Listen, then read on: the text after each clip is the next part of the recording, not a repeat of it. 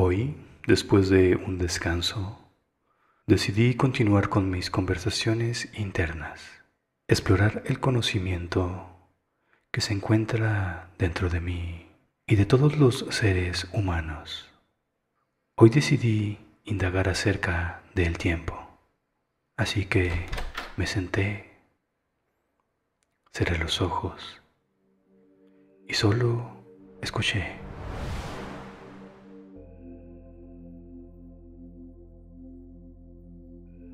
Hola, yo interior. Hoy quiero escucharte. Háblame acerca del tiempo. ¿Qué quieres saber? Bueno, ¿por qué existe? ¿Cómo funciona? No sé. El tiempo es divino. Es amor puro hacia todos ustedes. Y existe en su mundo. Mm, ¿Quieres decir que no existe en otras realidades? Quiero decir que existe en tu realidad y no necesariamente en otras. El tiempo es como un guardián y se encarga de que sucedan ciertas reglas dentro de tu mundo tridimensional. Mm, ¿El guardián del tiempo? Si quieres llamarle así, está bien.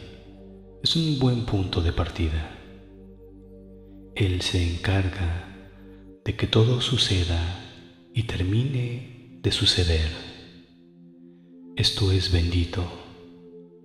Esto es bendito para un ser espiritual que no pertenece a este mundo. Él se encarga de que nazcas, pero también de que mueras. Y esto es una buena noticia.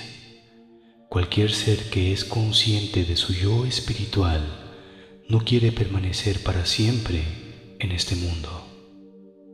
Cualquier maltrato que pases en este mundo, ten la certeza de que terminará.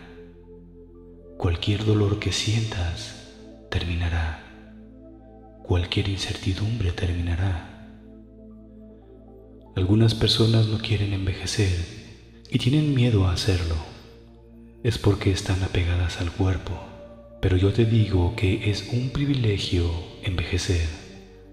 El guardián del tiempo se encarga de que suceda así, que tu cuerpo se consuma y con él tu ciclo terrenal. Vaya, es algo muy interesante. ¿El guardián del tiempo tiene controlado nuestro destino? Claro que no. Tonterías. Tú tienes controlado tu destino desde diferentes niveles de conciencia. Hay algo que se llama las líneas maestras de la vida. Estas son trazadas por tu conciencia más elevada.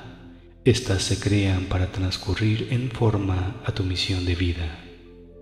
El tiempo es flexible y funciona de diferentes maneras, no como lo conocen ustedes.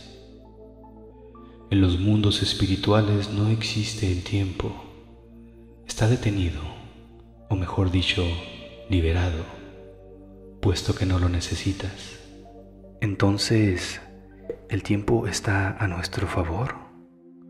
El tiempo solo fue creado para cumplir ciclos, que no quedes atado a las limitantes del lugar.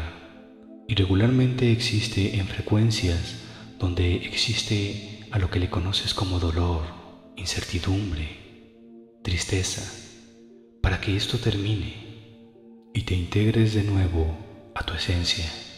El guardián del tiempo es un gran amigo de lo que ustedes le llaman la muerte. Yo le llamaría transformación. Claro, déjame ver si lo entendí. El tiempo es como una especie de garantía de que no vamos a estar en estos mundos donde hay incertidumbre, dolor de que esto va a terminar y que vamos a trascender a un lugar espiritual. Este guardián se encarga como que de que no se sobrepase o no permanezca este mal por siempre. Y en los lugares más evolucionados o más espirituales, donde no existe el mal, el tiempo no se necesita. Me ha gustado mucho la respuesta. Alégrate por cambiar, por no permanecer igual, por envejecer.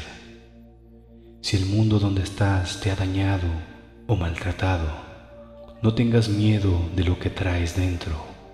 Enfréntalo, vénselo, da batalla, ya que al final el guardián del tiempo se encargará de que termine y te repararás.